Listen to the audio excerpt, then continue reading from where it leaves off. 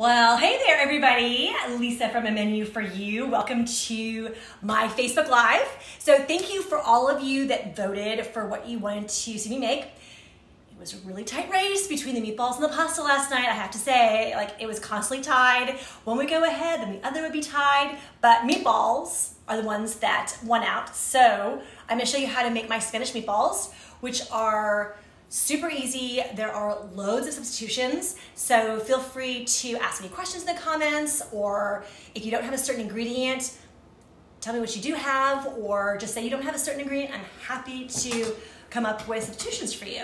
So, first off, I'm going to get the meat out. The recipe calls for um, beef and pork, but I'm just going to be using pork today. So I'm cutting the recipe in half because I do have ground beef, but I'm gonna save it for a different recipe.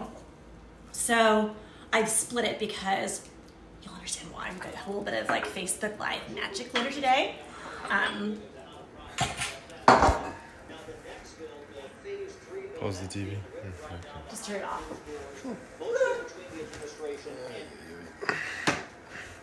Sorry about that. Anyway, it's life right now, right? Like, hopefully you guys are all doing well. I want to know what you guys are watching because I am looking for new shows to watch. I think we ordered a bunch of games and puzzles, so I would love to hear how you are doing. And I also have always worked from home, and my husband also works from home. So if you are finding yourself working from home with a loved one or roommates, spouse, and you want tips, just drop them in the comments. Okay, so we're gonna get started. I've got about half a pound of pork right here. And we're gonna toss in some of the other goodies. But first, what makes these meatballs so different and unique is that instead of panko or breadcrumbs, which you usually usually find in meatballs, we're gonna put bechamel. And bechamel actually makes them even lighter. So, so good. And bechamel is a really versatile sauce. You use it in lasagna, you use it in mac and cheese. And since there's a lot of pasta making going on these days, I thought I would show you guys how to make bechamel as well. So come this way, and I will show you. So first, bechamel is three ingredients. So it's butter, flour, and milk. And I was thinking too, and this is also a really good alternative if you find yourself not having panko or not having breadcrumbs. This is also a really good alternative because odds are, even when it's not a pandemic, you have flour, butter, and milk. And I highly recommend using whole milk. I don't think you need you need the richer fat of the whole milk to really make a lovely, like luxurious, smooth, creamy bechamel. It might work with 2%, but I highly recommend using whole milk. So first off, we're going to, on low heat, we're gonna melt some butter. And the recipe calls for two tablespoons. This goes really quickly, by the way. When you make bechamel sauce, you don't want to ever step away from the stove because it does go really quickly. So here I'll go. I've got my son home, so I figured I would put him to work, helping me with the video. So we're gonna get that melting. Well, that melts. I'm gonna measure in a tablespoon. I'm gonna measure a tablespoon of flour and just set it to the side. So there's a tablespoon of flour because once the butter melts, we're going to stir in an equal part of flour. Get that going. I'm gonna go get the milk out of the fridge. Once you see how easy bechamel sauce is to make, you're gonna make all the time. Sorry, but I take in my fridge. Alrighty. Get the whole milk out. This is almost, this goes really quickly. Okay, so now that the butter is melted, butter's all melted, we're gonna sprinkle the flour over it.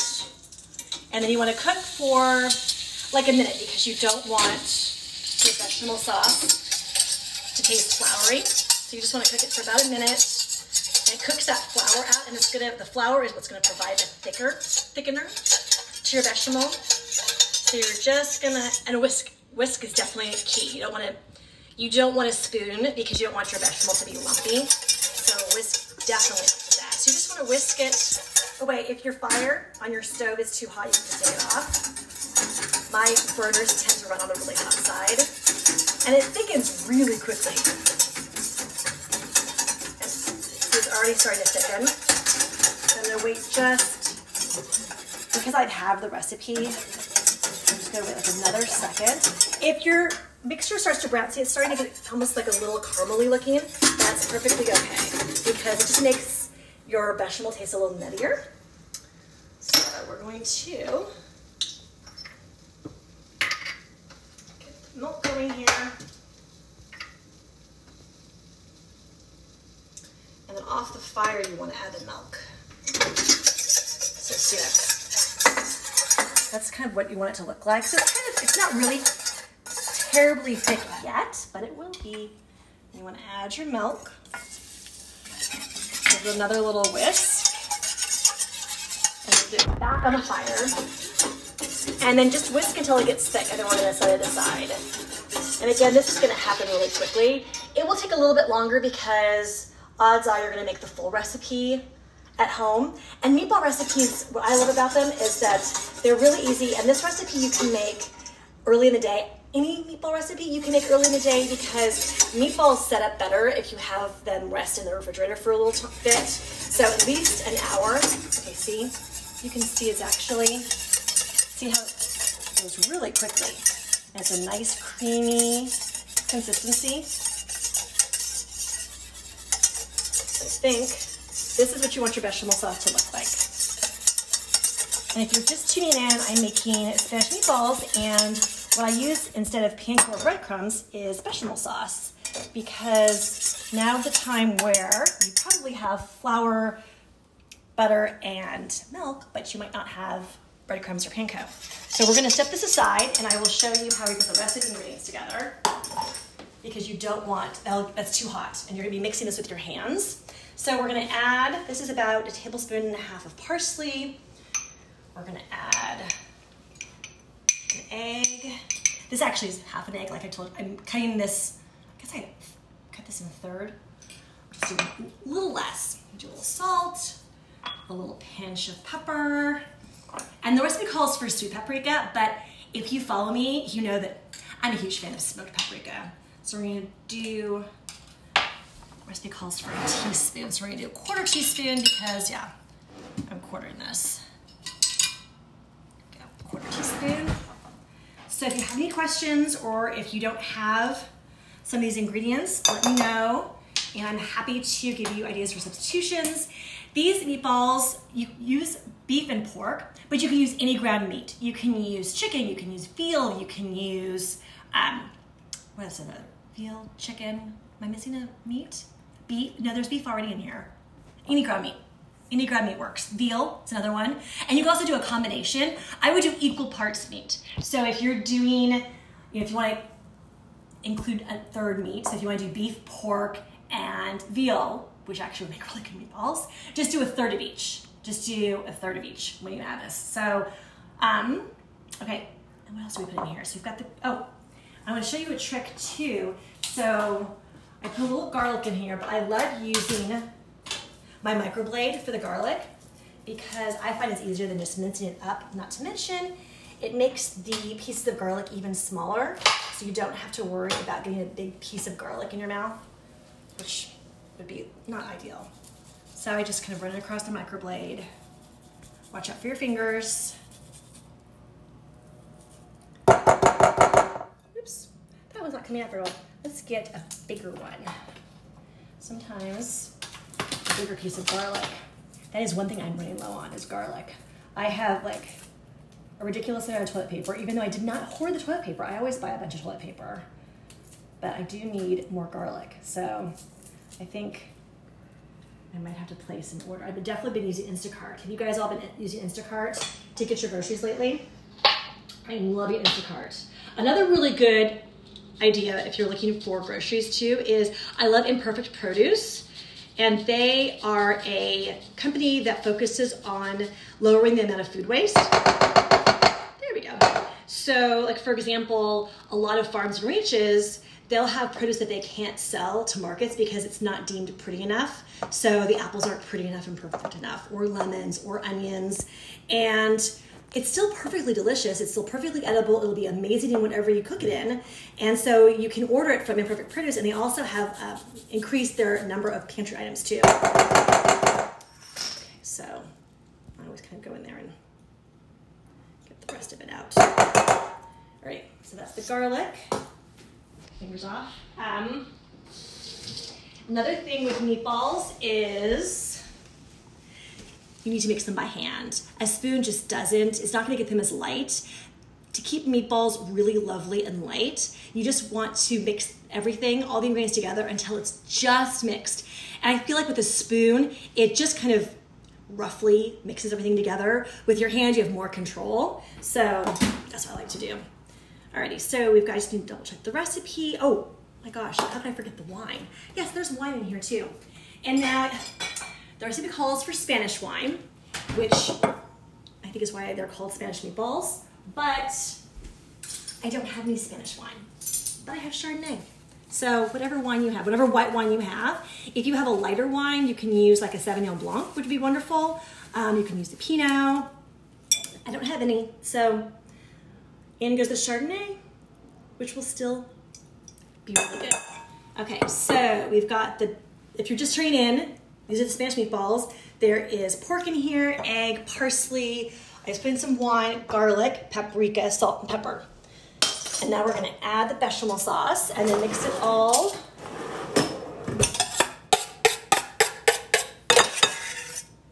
Spoon that in. So the meatballs are gonna have a lighter, um, kind of almost a better texture, but by letting them chill in the fridge, they'll kind of, they'll kind of, um, what's the word I'm looking for? Not seize up is the wrong word. They will, it will, they won't seem as wet when you actually form them into meatballs. They won't seem as loose. So you just want to just very, almost kind of folding them in with your hands. You want to make sure that the ingredients are all incorporated, but you don't want to go in there and like crazy over mix. So just kind of gently fold, fold everything in. And these can be made early in the day. So you can make them in the morning and set them in the fridge and then form them right before you cook them. Or you can set them in the fridge for a couple hours, then form them into balls, stick them back in the fridge until you're ready to cook. Okay, so this is all done. See, that's what they look like. It's not too bad. So you can see that it's a little bit of a looser mix than if you used panko, but that loose that looseness is gonna translate into the most light, like melt in your mouth, not tough, not like hockey puck meatballs, but lovely light meatballs. So I'm gonna go wash my hands, and then we're gonna cover and stick that in the fridge. Ideally for at least an hour.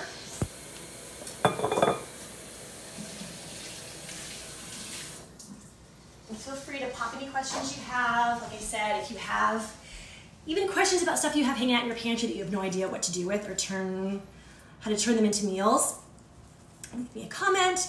If you're not watching this live, if you're watching um, the repeat, what is wrong with my word these days? If you're watching the replay, if you're watching the replay and this isn't live anymore, feel free to drop a comment. I'm happy to. I will be going back and checking comments later too. So, oops, got that after this. It's the trash. We are going to put this and cover it and stick it in the fridge. like I said, ideally, you want it to set up. So ideally for at least like an hour. So this goes back in the fridge. And then the magic of Facebook Live. We'll take out meatballs I put together. Let's see. This is when I get the challenging. I show you like my jammed fridge. There we go. There's room for everything. I usually like to have my fridge really organized, but now that I have both kids home and they're older, like my son is 21, my daughter is 17, they eat a lot, so I'm having to, yeah, just my fridge is fuller these days. Okay, so now these are formed. What I like to do is there's two methods of cooking them. You can simply put them in a little bit of olive oil in a saucepan and cook them until they're nicely browned on all sides. But if you don't want the hassle of that, I love cooking them in the oven. And so my oven has been preheated to, I actually put it up to like 400, but you can do like 375 or 350 as well. Get like a little spoon so you can form these. And you can make them as big or as little as you want. I tend to make them on the smaller side because they cook faster. So here is, these have been hanging out in the fridge for like an hour and a half. So you can see that the mixture has, has firmed up a bit. It's not quite as loose, it's still a little loose. It's gonna be looser a bit um, from when you use panko. But the key to refrigerating the meat is also to make sure that they hold together. They hold together in their little ball shape when you cook them, so much better, especially if you're cooking them on the stove. So I'm going to line this with parchment. And then I'm gonna just form the meatballs. And we'll get them in the oven. And while they cook, I'll show you how to make a super quick, easy marinara with one of the many can jars of tomatoes you probably have hanging out in your house right now. Um, this recipe does say you can easily use, see, I just usually, a little spoonful and then just roll them gently. And they are a little on the wet side and that's totally natural. It's, it's the way they're supposed to be. And like I said, the smaller you make them, the faster they cook. See? Um, what was I gonna say? Oh, so the recipe calls for Rouse, Rao's, is that how you spell it or say it? Rao's marinara sauce, which I love, and I swear it's you're hard pressed to make homemade. Are you? You want to raise the? There we go. I wanted to get the meatballs. okay, I'm like that's cool that's look. not. Thank you, Jack. Um, um, so Rao's is an amazing marinara sauce, and you would really be hard pressed to make homemade as good, but you can. So if you have Rao's, Rao's, um, you could absolutely use it. I would just heat it in a saucepan over the stove, um, bring it to like a really gentle simmer, and then after the meatballs, cook for a bit in your oven. You cook them in the oven. I usually cook them at 400. I usually cook them for about maybe about 10 minutes, and I make sure I check on them and kind of roll them around it so they get nice and brown on all sides. And then I finish them off in the sauce. That's the key. Like when you cook them, whether you're cooking them on the stove or in the oven, you're gonna you're gonna be finishing them off in the sauce. And then it usually takes. I usually just simmer them in the sauce for like another 15 minutes, and I'll cut one open just to make sure it's cooked. So these are definitely to go in the oven. I love any kind of meatballs. I usually put in the oven because I just it's just less hassle. It's less cleanup too, and there's less oil splattering all over your stove and making a mess. So, oops. I am gonna try and make a couple of these maybe a smidge bigger so they can all fit on one tray. So if you're watching tuning in live, make sure to say hi.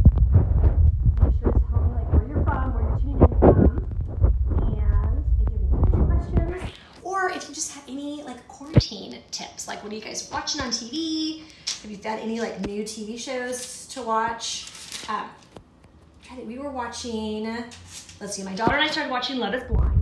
I felt like we were the only ones, like, pretty much on the planet that weren't watching it. If you like reality TV, if you like The Bachelor, it's good. Um, okay, so that's that's it for the meatballs. I'm gonna wash my hands again. And then we're gonna take these to the oven. And ratchet in the oven. Uh, my oven is really hot, so I put the temperature way up at 400, so it shouldn't take too long.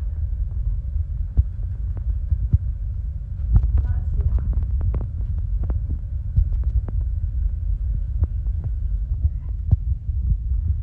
And I will show you how to make a homemade marinara sauce. Okay, Then you go. Alexa. Oh, that needs a. It's up from when I made carnitas last night. I'm not sure. Yes. I know. Hang on a second. I made carnitas the other night and we put the rack up so we could put them under the broiler to get them nice and crispy. That recipe will be coming up too. Oh my gosh, so good. Okay, so in they go. The oven's at 400. Alexa, set timer for seven minutes. Seven minutes, starting now. My oven runs really hot, so I think that's probably going to be a good amount of time, and I'll check on them. And while those are cooking, I'll make a homemade marinara sauce. Like I said, if you have store-bought, by all means, use it, but I really prefer to make my own. Although that house is so good. Okay, so what we're gonna do is put olive oil in here first. So I'll show you my trick. It's olive oil and garlic is what you're gonna start off with. So you're gonna put a good amount, I think it's probably about half a cup of about half a cup, a little bit more of olive oil. And then I'm gonna add some thinly sliced garlic. I'm not gonna turn the stove on yet. I'm gonna turn the stove on when I have the garlic already in the pan. I'm gonna turn the stove on to like a low medium heat. And once the garlic starts sizzling and bouncing around a bit, then I add my tomatoes. So this way it prevents the garlic from burning because once garlic burns, there's like there's no getting it back. It just lends a really kind of awful burnt flavor. There's no there's really no saving it. So and garlic burns really quickly. Now you can use add as many garlic cloves as you want. I usually tend to use between two and three. Um, if you don't like a lot of garlic, then just add less. Oops. If you like a ton of garlic, you can add more. It's kind of whatever you want. And as far as the tomatoes, you can add, I'm using puree because my son is not a huge chunky tomato fan. He likes his sauces pureed and his marinara sauce more smooth. So, but you can also use whole tomatoes and you can gently crush them in your hand when you add them if you like more like chunky bits in your marinara sauce. Um, you can also, if you have veggies that are looking sad and looking like they're on their last legs, like getting kind of wilty, like mushrooms, zucchini, carrots, dice them up. You can saute them separately, add them to the marinara sauce, and if you have picky eaters, you can puree it or use an immersion blender. They won't even know what's in it because that's what I used to do all the time when my kids were little. And trust me, they will not know what veggies you have put in. It's a great way to use up veggies that are in your fridge because they're not gonna last forever and they will taste delicious in the marinara sauce. So this was, this is about two cloves of garlic. So I'm gonna stick it and then kind of scatter. Turn this on. And the garlic will cook down, so it'll actually, the flavor will mellow as it cooks. Okay, so, so it's over kind of the medium, medium heat, and I'm using, I love these, I love this brand, the San Marzano. Cento is also a really good brand. Cento and San Marzano, highly recommend. So yeah, so we're just gonna let this go. And as soon as it starts, when it starts bubbling and the garlic kind of starts jumping around, that means that the garlic has infused the oil with flavor. And then we'll add the tomatoes and then basically just bring it to a simmer. Now you can add fresh herbs. If I had fresh basil, I would absolutely chop some fresh basil. What I do have is I have dried basil. Actually, do I have dried, basil? Let me see. I have some dried oregano. Let's see. I might have used, oh, Italian season. I could probably use this. I think I might have used all of my, yeah, I think it's on the, it's on the list. I've got some time. But I'd rather have, let's see, oh yeah, oregano, marjoram, thyme. Oh yeah, this would be really good. So I'll use a little Italian herb seasoning. And because I'm using dried, dried herbs should go in first. If you're using fresh herbs, they go at the end of the sauce. Why? Because dried herbs need time to bloom because they're dried.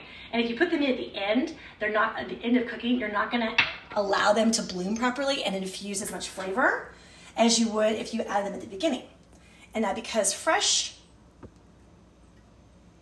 fresh herbs don't need that same attention because they're fresh, they'll infuse a lot faster because the oils are like right there, they're, they're not dried. So if you're using fresh herbs, you toss them in kind of towards the end of cooking, but dried herbs towards the beginning. So I think I will add some Italian herb seasoning. You can add basil, you can add oregano, um, parsley, or you can just leave it just simple and plain.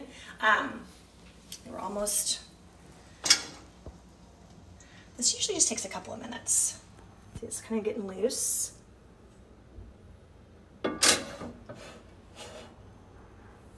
And you do want to be careful because the tomatoes, they tend to splatter. To actually get my spoon. So feel free to ask any questions. If you have any questions, I'm going to milk back while I'm waiting. Um, yep, ask, ask any questions you have about pantry cooking. I love, I've always loved cooking for my pantry and trying to base, oh, see we're starting. See it's starting to bubble just a little bit around the garlic. So we're getting there. The thing is, it's okay if it it turns a slightly darker color. You just don't want it to burn. If it gets too dark and burn, you gotta throw it out. So, um, but what I was saying is, I've always loved to cook for my pantry. I always considered it kind of a challenge to see how long I could go between going into the supermarket, even before I started um, the food blog and my website. So I, I'm trying to think. Actually, my husband. I think my husband's the one that called it my superpower. Okay, so see, Like to get a couple more. The ones in the center are. Let me get the ones around. See, now these these guys are around the edges. Once the edges start, sometimes you might have to move your pan around to make sure it's like right over the burner. But when my husband and I were first married, and we had just had our son, he was a tiny little baby. My husband left his job to go work for an internet company, and back then the internet was just—it was like the you know the wild wild west. It was just starting up. There was there were a ton of internet companies that were cropping up. So he went from making money to we made a lot of money on paper, but back in those days they didn't have any money. It was that's how I think they got everyone to work for them is the idea that it was gonna be this big huge thing. So I had to change the way I shopped, I had to change the way I cooked to stretch things out a lot further. And so that's kind of I think how it forced me to really make use of pantry. Okay, so almost. We're so close. A little bit more of the outside ones. Mmm, you can kind of start smelling it. it smells so good and garlicky. Oh, okay, Alexa, off. Okay, so you want to make sure you do this really slowly and carefully. So all the I'm using obviously the pureed ones, but you can use whole ones. Um, if you like it really chunky, you can use the diced ones. I would prefer like the pureed or the whole. And if you're using whole, you can use your hands to gently, basically squeeze to break them up before you add them. And then just stir this around. The olive oil is gonna help kind of emulsify and melt into the tomatoes and create a looser sauce. Not to mention a really more flavorful sauce because you don't want your, your marinara sauce to just taste like tomatoes. You want to build depth of flavor. Okay, so now this is incorporated. I'm gonna add, see, oh, that smells really good. And also when you use dried herbs, you wanna make sure that you break them up in your fingers before you add them because that opens them up too and helps them release more flavor. So we're just gonna add, we just add a little bit. You're gonna add less than you would normally of like fresh herbs. We're gonna do, there we go.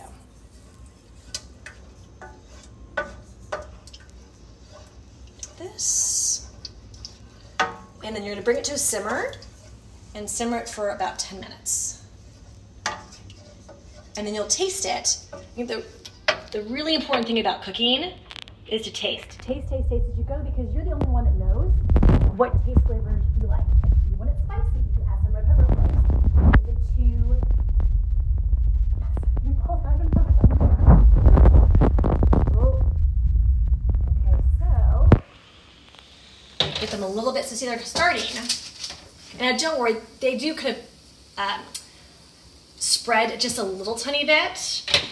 But oh my, they're gonna be so good. Okay, so we're gonna put them back in. We're gonna get them a little bit more brown. Alexa, set timer for three minutes. Let's see what they look like in three minutes. Three minutes, starting now. And I lost my train of thought. What was I talking about with the tomatoes? I can't remember now. But yeah, this is basically what the sauce is. Super easy. And then make sure. Oh, I know. I was talking about tasting it. So I'm gonna add a little pinch of salt, a little bit of pepper. Like I said, when you taste, you can adjust the flavor. So if you want it to be spicy, you can add a little bit of red pepper flakes. If you want to make it creamy, if it's sometimes marinara sauce can be too pungent for people because if you don't, you're not a huge fan of tomatoes or you just want like a mellower sauce, you can add some cream. And it's not marinara sauce anymore, but it's based on what you like to eat and the flavors that really speak to you. So that's what's important. It's always taste, taste, taste, taste as you go. So we're just gonna simmer that away.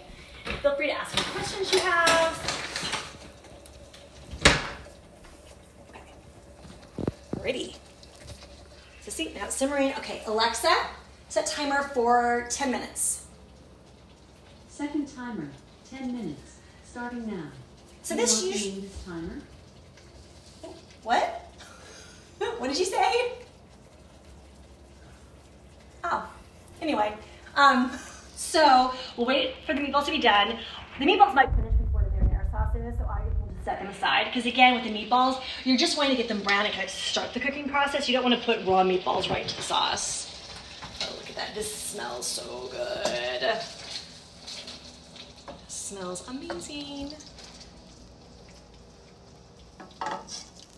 And if you have added veggies, you want to saute veggies separately in a separate pan and then add them at the end once this is all cooked. Oh my goodness. Yeah, so that's just gonna sit and simmer. When the meatballs are done, I'll set them aside and when the marinara sauce is all finished, I'll finish the meatballs off in the sauce.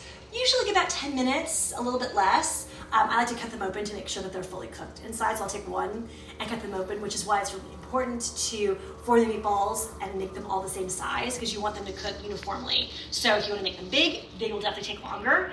If you make them small, they'll take less time. But however you want to shape your meatballs, just make sure they're all uniform because you don't want small ones cooking faster, bigger ones taking longer, and it will throw kind of everything off. And and other uses. There are so many uses for meatballs. You can double the recipe if you're feeding a crowd. You can turn it into meatball sandwiches. Obviously, put it over spaghetti. You can just serve it with a big side of like crusty bread slathered with butter. Um, if you are looking to be a little healthier, you can serve it over uh, zucchini noodles or roasted spaghetti squash. Alexa, off. You can even freeze the meatballs. They freeze really well. So what you want to do is after they finish cooking, you'd want to complete the cooking in the oven or on the stove. You wouldn't want to put them in the sauce. So you could complete the cooking in the oven or the stove and then put them on a sheet pan or a plate if you don't have room in your freezer for a sheet pan. You just want to make sure they lay flat. When they're totally frozen, then you can add them to a Ziploc bag. And I always like to make sure I write what they are on the Ziploc bag. Oh. Yep, we're getting there. So I'm gonna kind of roll them over here. Yeah, you always want to make sure you write. I always write the date that I make something and what it is on the Ziploc bag. So because these are pork, pork doesn't brown as much as like a ground beef would. So, but you can see that they're starting to get a little bit of color and they smell amazing. And that's like the bechamel sauce that comes out just a little bit, but don't, like it's, it's so good. When you add them to your marinara sauce, it just kind of like melts into the marinara sauce. Um, or you can just serve the meatballs as is, like in a big bowl with tons of Parmesan cheese on top. Oh, look at how gorgeous these look. Okay, so we're gonna put these back in. And as you can see, they're not exactly round. Don't worry about it. You know, I think if you have kids at home, my kids started helping me in the kitchen, honestly, as old as they could. I think they were like, you know, as soon as they could hold a spoon, they were in the kitchen helping me. This is a really great project to make with kids. Alexa, set timer for two minutes. I mean, obviously, depending on their age, you'll need to monitor them because you wouldn't want like super young kids to think they could like lick their fingers after after they've been forming the meatballs. But if they're older kids, have them form the meatballs. Have a big old meatball party. This smells amazing.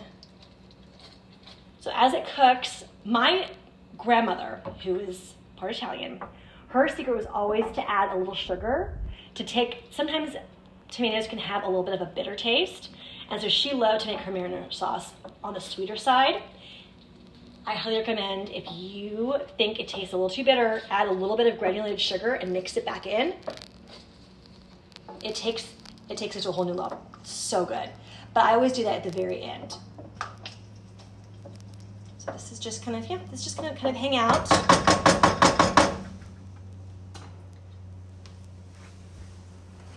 I'm trying to think of what else. So I've talked about the meatballs. I've talked about all the things you can make with the meatballs. So you can see it's a really super easy recipe. It comes together really fast. You can make the marinara sauce. You can make a huge batch of this and you can freeze it or you can store it in your fridge. In your refrigerator, it'll probably last a couple of days, maybe three days, four days.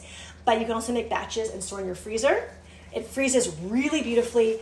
If you add cream, it doesn't freeze honestly as well. I found that dairy products just don't freeze. I mean, obviously ice cream freezes great, but when you use cream, they tend not to freeze as well. But if you just cook it as is, like this, like a straight marinara sauce, it freezes really beautifully. You can freeze the meatballs, you can make big batches of meatballs and freeze them for later. You can use any ground meat, any combination of ground meat. Um, someone was asking me earlier about a veggie option. I've heard that if you do either uh, quick cooking oats and like mushrooms or mushrooms and quinoa. I haven't tried it, but I've heard that that's actually a really good option if you want to make veggie meatballs.